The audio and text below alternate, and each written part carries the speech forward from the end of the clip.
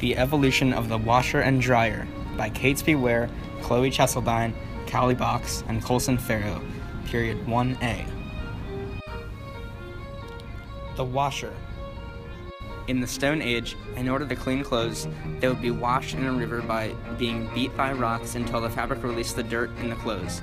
Later, they discovered scrubbing with sand and soap made from animal fat and ash. There was still physical labor involved, and you would have to be near water or have water to your use at your house. This invention was first invented to be a musical instrument. In 1851, a design with hand cranked rollers and a drum was patented. In 1858, a rotary hand crank design was patented that turned a closed drum of water with clothes inside.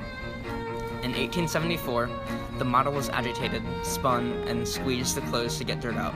This was considered to be the first actual laundry cleaning machine to be produced.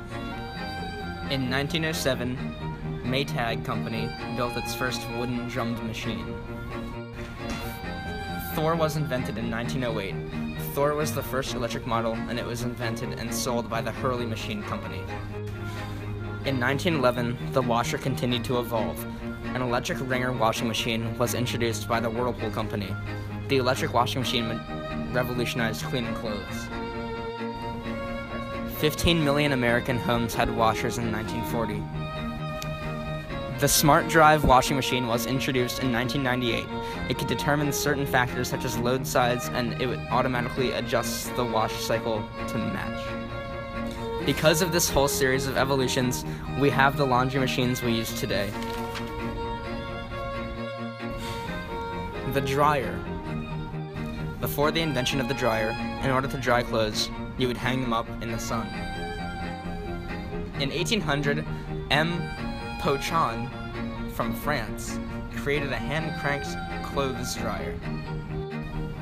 During the early 20th century, an American inventor designed automatic clothes dryers. In 1938, that dryer was developed and released to the public. Brooks Stevens developed the first electric dryer with a glass window in the 1940s. These evolutions led to the dryers we have today. The way of cleaning and drying clothes changed so much over time. We went from cleaning them in rivers and drying them in the sun to two advanced machines that do the work for us, the washer and dryer.